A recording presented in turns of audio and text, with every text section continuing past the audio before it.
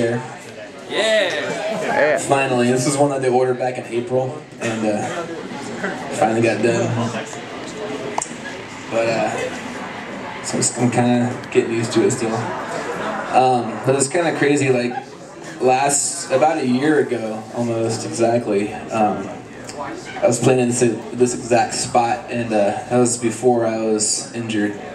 And uh, it's kind of crazy how a year changes your life sometimes, you know, and how how much happens in a year that um, you don't really expect to happen, but it does. And uh, I think life sometimes is just about how you deal with um, the things that you go through, and uh, this has by far been like the toughest thing that I've had to go through, but um, but it's cool. God is good, and uh, this is a song. This next song um, is one that I wrote a long, long time ago, and it's I kind of uh, it kind of has taken on new meaning for me after uh, being injured, you know. So I put it on this CD, You said too. has CDs. and it has rain in they are? it, which is cool because it's raining outside.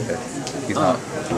So it's like you know. Because I want to get perfect. something new. I don't want to take it for free. Anyway, it's called you know, Mystery. I like him. So um, here, you know, you can give me one. I'm not. I don't want to like bother him because he's, you know, I don't want to go